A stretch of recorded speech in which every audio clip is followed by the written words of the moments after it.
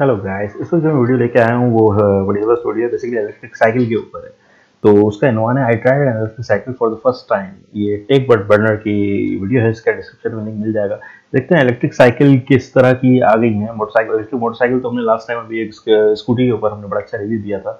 Electric buses भी आ चुकी हैं लेकिन इलेक्ट्रिक साइकिल के बारे में ज़रा और देख लेते हैं उसका फिर फ़ायदा क्या है क्योंकि वो जब इलेक्ट्रिक है तो एक्सरसाइजिंग तो उसमें होगी नहीं। तो फिर क्या ऐसी चीज़ है उसके अंदर क्या ऐसा कमाल है हम उसको प्रेफर करें। चले इस वीडियो में देखते हैं, उसके बाद आगे ये नॉर्मल से दिखने वाली साइकिल एक्चुअली एक फुल्ली इलेक्ट्रिक साइकिल है। हमने इलेक्ट्रिक रबर इलेक्ट्रिक खिलौने और इलेक्ट्रिक गाड़ी में ट्राई करी बट अब साइकिल पे जूम जूम करने का टाइम आ गया है। ये हीरो की एकदम नई साइकिल है। इसका नाम है हीरो इलेक्ट्रो ये क्या नाम है भाई? कोई दिक्कत नहीं। बट भाई है तो मेटल बॉडी बट एक्चुअल भारी है भाई। पर at the same time build quality काफ़ी अच्छी लग रही है। पेडल वेडल थोड़े सस्ते हैं भाई। जो नीलम वाली साइकिल आती है ना भाई, उसके सबसे तगड़े होते हैं। पेडल वो खराब नहीं होते। मैं बचपन में भाई लगा के चलाता था। फ्रंट साइड पे जैसे कि आप देख सकते हो, एक शॉकर है। और टायर ठीक ठीक क्वालिटी का लग रहे हैं। जो फ्रेम है ना, ये भी पूरा ब्लैक कोटेड है तो काफ़ी अच्छे लुक दे रहा है। डिस्क ब्रेक फ्रंट की साइड पे भी है और बैक साइड पे भी इन्होंने डिस्क ब्रेक लगा रखा है। स्टैंड दे दिया बट मड गार्ड नहीं दिया सीट भी क्यों लगा के दिया है सीट भी ना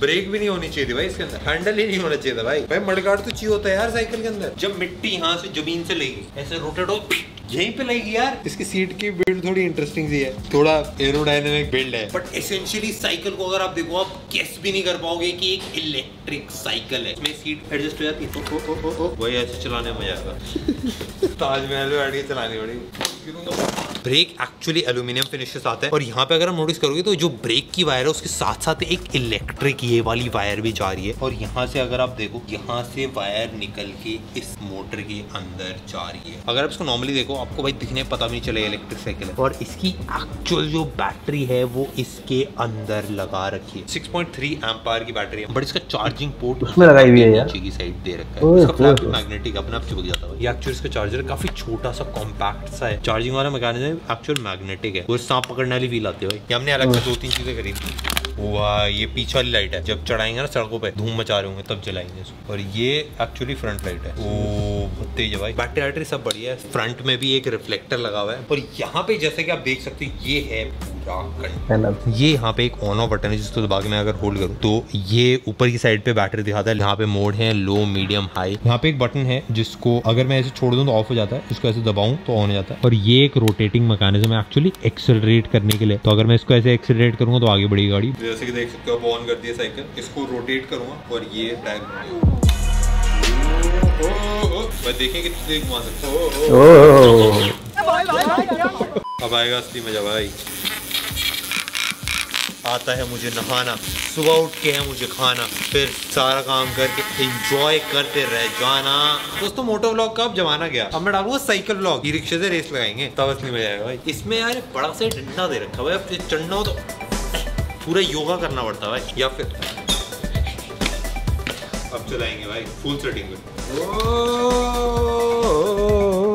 मेरे को एक इसमें काफ़ी बड़ी दिक्कत ये लगी। जैसे मैं इसको चला रहा हूँ ना सड़क पे तो ये ऑटोमेटिकली रिचार्ज नहीं होती। ये जितनी भी इलेक्ट्रिक गाड़ियाँ हैं पेट्रोल की गाड़ियाँ डीजल की गाड़ियाँ हैं, फिर उसके हाइब्रिड गाड़ियाँ भी है, उन सब में जो टायर घूमता है, उसी से एक्चुअल बैटरी भी चार्ज होती है। बट इसमें ऐसा कुछ भी नहीं है। और इससे एक्चुअल काफ़ी सारी बैटरी वेस्ट आती है जब मैं पेडल मार रहा हूँ, तब टायर घूम रहा है। उस एनर्जी को यूज़ करके इस बैटरी को चार्ज करा जा सकता है। तो अभी इसकी जो रेंज 25 किलोमीटर की है, वो 40 या 50 तक पहुँच सकती है काफ़ी आराम से। सॉफ्टवेयर अपडेट से शायद हो जाए असली टेस्टिंग के लिए रेडी हो चुके हम अलग अलग चैलेंजेस से साइकिल को लेके जाएँगे फिर चेक करेंगे। सबसे पहला चैलेंज स्लो साइकिलिंग मैं एक घंटे तक इसको स्टार्टिंग खड़ी रखूँगा।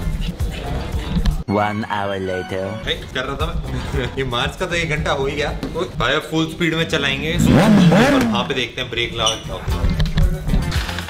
ओ ब्रेक तो अच्छी है भाई। थोड़ी आगे निकलनी। लेकिन फिर भी ठीक है। बट भाई अंदर कितने चला रही लाइट्स को बाहर चलेंगे। बाहर जूम जूम जूम तो भाई पीयूष भाई आ गए। Friction बिल्कुल नहीं थी, हमारी टेस्टिंग हो जाएगी। और अब सौरभ ट्राई करने वाला भाई इलेक्ट्रिक साइकिल इसको हाई पे करके देते हैं। लो।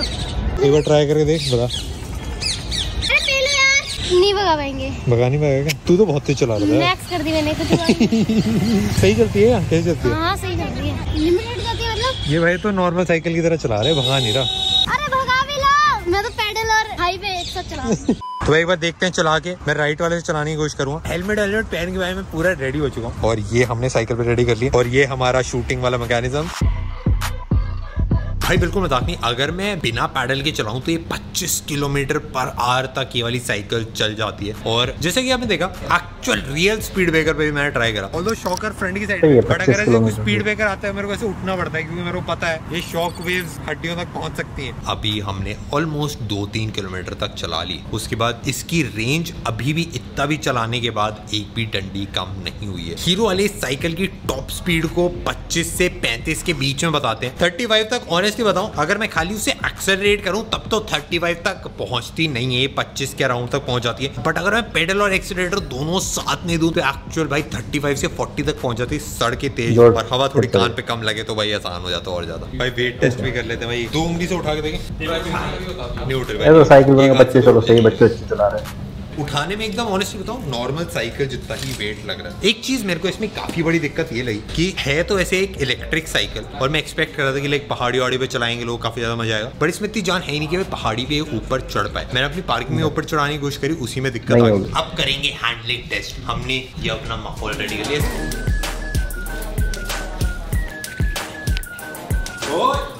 पड़ाव और मुश्किल करना पड़ेगा। अब हो गया भाई मुश्किल पड़ाव अब हालत खराब हो जाएगी। कोई पड़ाव मुश्किल नहीं है इसको करने के लिए बस टेक्निक अलग यूज़ हो ओ ओ ओ, क्या पार करा मज़े आ गए वाह दोस्तों, इस साइकिल में एक बहुत बड़ी दिक्कत है कि प्यार को प्रमोट नहीं कर रही। अपनी माशुका को अब मैं क्या रोड पे? सॉरी माशुका जी। एक चीज़ मेरे को इसमें भाई फंडामेंटली दिक्कत लगी कि इसको कोई भी आके ऑन कर सकता है भाई। अगर जैसे लोग नीचे स्कूटी अपनी खड़ी करते हैं ऐसी अगर किसी को साइकिल खड़ी करके जानी कोई भी बंदा आगे ऑन कर दबाएगा। और घुमाता रहेगा मज़े करता रहेगा भाई। यूजुअली होता क्या है जितनी भी इलेक्ट्रिक साइकिल्स होती हैं उनमें ऐसे चाबी लगती है फिर वो चाबी घूम के ही एक्चुअल ऑन हो पाती हो। बट इसमें भाई किसी का भी मना है उंगली कर जाएगा। चलते फिरते बटन। दबाने तो ये बार सब्सक्राइब बटन जो नीचे है वो दबाया जाएगा। वैसे है ये साइकिल तीस हज़ार रुपए की। यूजली अगर आप साइकिल लेने जाओ तो सात आठ हज़ार दस हज़ार तक काफ़ी अच्छी साइकिल आती है गियर वाली साइकिल भी आती है इसमें गियर भी नहीं है। और पहाड़ी वाड़ी पे चलाने में इसको डेफिनेटली दिक्कत होगी। बट अगर आप किसी पेट्रोल वाली स्कूटी से कंपैरिजन करो तो उसमें एक्चुअल आपको पेट्रोल डालना पड़ेगा। इसमें 6000 हज़ार की बैटरी है तो जितना आपको अपने फ़ोन को चार्ज करने में खर्चा आता है, उससे दो तीन रुपए ज़्यादा ही आएगा तो ऑलमोस्ट फ्री आप समझ सकते हो। रेंज जिसकी एक्चुअल 25-30 किलोमीटर तक चल जाती है, वो काफ़ी तगड़ी चीज़ है एक साइकिल के लिए। बट मेरे ख्याल से थोड़े और इंप्रूवमेंट थोड़े और ट्वीक्स होते हैं, जैसे रिचार्जिंग वाला सिस्टम था तो डेफिनेटली और ज़्यादा पड़ जाता है। ओवरऑल एक डेफिनेटली काफ़ी तगड़ी साइकिल है। थोड़े से इंप्रूवमेंट थोड़ी बहुत चीज़ें फिक्स अगर करी जाए और ज़्यादा तगड़ी हो जाएगी। इतना इस वाली वीडियो के लिए होपफुली आपको पसंद आई अगर आई तो लाइक करना सब्सक्राइब कर दो चैनल और हम मिलते हैं आपसे next video bye delivery boys के लिए बहुत अच्छी चीज़ है मैं तो ये कहता हूँ क्योंकि वो उनका काम बहुत रहता है इसके ऊपर। तो जब कॉस्ट इतनी कम हो जाएगी तो वो उनके लिए बहुत अच्छी है। बस ये डिलीवरी बॉयज़ के लिए मुझे फ़िलहाल के लिए बहुत अच्छी लगी। ये वाली चीज़ बहुत प्यारी चीज़ है। और उसके अलावा ये कि बच्चों बच्चों को भी दे सकते हैं, लेकिन यार थोड़ा सा इसमें कुछ कुछ है, अभी इसमें इसको अपडेट होने की ज़रूरत है काफ़ी हद तक। उसके बाद ये इस काबिल हो जाएगी। चलें गाइस बहुत अच्छी वीडियो थी। इन्होंने बड़ी कोशिश की। इनको भी लाइक सब्सक्राइब कर दीजिए। मेरे चैनल को भी लाइक सब्सक्राइब ज़रूर कर दीजिएगा। मिलते हैं नेक्स्ट वीडियो में। Take care